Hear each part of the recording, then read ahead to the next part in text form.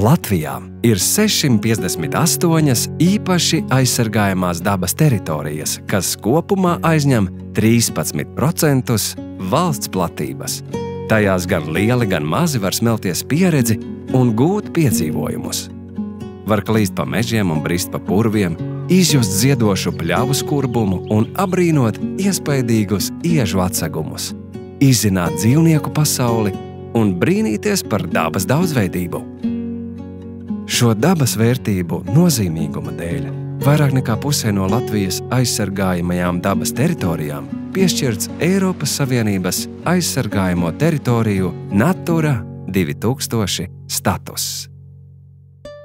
Latvijas ziemeļrietumos, pašā Kurzemes spicē, atrodas mazākais no četriem Latvijas nacionālajiem parkiem - Slīteres Nacionālais parks. Tā pirmsākumi ir viena no pirmajām aizsargājamajām dabas teritorijām Latvijā. 1923. gadā dibinātais Šlīteres dabas piemineklis.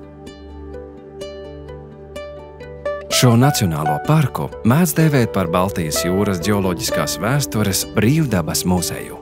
Šlīteres zilie kalni ir Baltijas ledus ezera senkrasts. Mūsdienās tas atrodas 5 km no Baltijas jūras krasta un slejas 70 metrus virs jūras līmeņa. Senkrasta malā atrodas Šlīteres bāka, kas celta 1849. gadā mežu novērošanai un kā dienas orientieris kuģotājiem. No 1961. gada Šlīteres bākā dega bāku guns, bet kopš 2000. gada bāka kalpo kā skatu tornis apmeklētājiem. Šlīteres zilo kalnu krauju klāja Latvijā retie un aizsargājamie gravu un nogāžu platlapju meži. Pavasarī nogāzē zied viena no lielākajām lakšu jeb mežloku audzēm Latvijā. Savukārt vasaras otrajā pusē skatām paveras vara no strauspapāržu vainagi. Pateicoties maigajam un mitrajam piejūras mikroklimatam, šeit ir mājvieta tādiem dabas retumiem kā parastajai īvei un Baltijas efejai. Senkrasta mežos uz lapu kokiem aug plaušu ķērpji. Dabiskam mežam raksturīgie lielie dobumainie koki, sausokņi un kritalas ir barības avots. Ziemošanas vieta gan daudzu retu kukaiņu sugu kāpuriem, gan pieaugušiem kukaiņiem spīdīgajam praulgrauzim, dažādiem izgraužiem, koksngraužiem, ziedmušām. Lielā kukaiņu dažādība nodrošina bagātīgi klātu galdu daudziem meža iemītniekiem, āpšiem, sikspārņiem, dzeņveidīgajiem putniem, tostarp Latvijas lielākajam dzenim - melnajai dzilnai.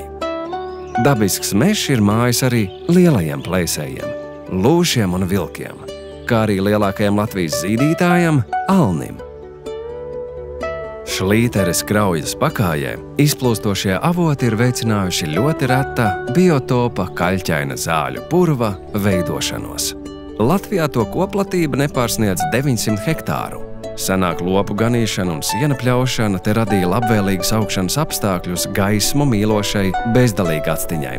Kukaiņēdāja augam parastai kreimulai, purva attālenai, rūsganai melncerei, strupajam donim un daudzām orhideju sugām. Mūsdienās vienīgais veids, kā šādu purvu saglabāt, ir tā regulāra pļaušana un krūmu izciršana. Starp šlīteres zilajiem kalniem un jūru plešas kangari, vairākus kilometrus garas kāpu grēdas, kas mijas ar vigām, šaurām, mitrām ieplakām. Vigās bieži vien izveidojušies zemie purvi. Pētera ezera vigā ieguluši trīs ezeri - Mazais un Lielais Pētera ezers un Pēterītis. Pētera ezera vigā aug aromātiskais un savulaik Latvijas balzam ražošanā izmantotais retais augs - parastā purvmirte. Viltīgā kukaņēdā ir asene, arī vairākas Eiropas nozīmes retās augu sugas - leizela lipare, dzeltenā akmeņlauzīte un sūnu suga spīdīgā āķīte. Kangaru un Vīgu ainavā atrodas Nacionālā parka lielākais purvs - Bāžu purvs. 1992. gadā purvā plosījās ugunsgrēks. Izdegā 3000 hektāru purva un tam piegulošā meža. Ugunsgrēka teritorija atjaunojās dabiski. Tādēļ šeit mājvietu radušas retas augu un dzīvnieku sugas, piemēram, lielais diškoks un grauzis un lielā krāšņa mabole. Bažu purvs ir arī dzīves vieta Latvijā izzūdošajai gludenajai čūskai, Latvijas vienīgajai žņaudzēji čūskai. Pavasarī bažu purvā riesto rubeņi, tad šeit tālu dzirdama īpatnējā rubeņu rupināšana. Slīteres Nacionālajā parkā ir daudz retu un aizsargājumu kukaiņu un augu sugu. Piekrastē sastopamas skudru lauvas. To kāpuri smiltīs veido īpašas konusveida bedrītes, kur gaida iekrītam savu laupījumu. Lielākoties tās ir skudras, bet piekrastes mežos uz vecām saules apspīdētām un īpatnēji apsveķotām priedēm mājo retais priežu sveķotāju koks un grauzis. Maijā piekrastes kāpās uzzied retās un skaistās pļavas silpurenes. Vēlāk vasarā savas bārkstainās ziedlapas vējā šūpo smiltāja neļķes. Koši dzeltenus paklājiņus veido kodīgais laimiņš. Tālākais kurzemes ziemeļu punkts - Kolkas raks atrodas Latvijas teritorijā nozīmīgajā gājputnu ceļā. Pavasaros un rudeņos to pārlido tūkstošiem migrējošo putnu.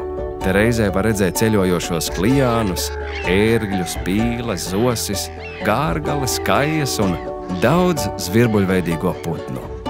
Baltijas jūras krasts Nacionālā parka apmeklētājus lutina ar desmitiem kilometru garu, baltu smilšu pludmali un kāpām, kas no vētrām pasargā senos lībiešu zvejnieku ciemus. Piekrastē no Sīkraga līdz Kolkai un tālāk līdz Melnzilam Joprojām dzīva ir lībiešu kultūra, kas ir nozīmīga Ziemeļ-Eiropas kultūra vēsturiskā mantojuma daļa. Lībieši ir viena no septiņām Baltijas jūras somugru tautām, kas kurzemes piekrastē, kā viendabīga etniska grupa, saglabājās līdz pat 20. gadsimta vidum, kad zvejniekiem rosīgo saimniecisko un kultūras dzīvi pārtrauca Otrais pasaules karš un tam sekojošie padomju laika notikumi.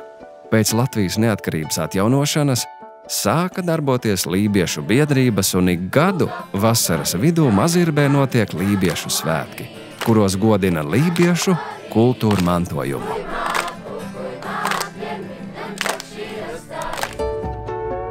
Ik gadu ik viens interesants var piedalīties dabas un kultūra vēstures izziņas aktivitātēs, pārgājienos, nakts kukaiņu gaismošanā, Slīters Nacionālā parka ceļotāju dienās un citos. Ik viens solis no lapu kokiem klātās šlīteres, zilo kalnu nogāzes līdz baltu smilšu liedagām Baltijas jūras krastā, tie ir piesātināts ar meža un senās jūras ainavas klātesamību. Dabā ar izpratni.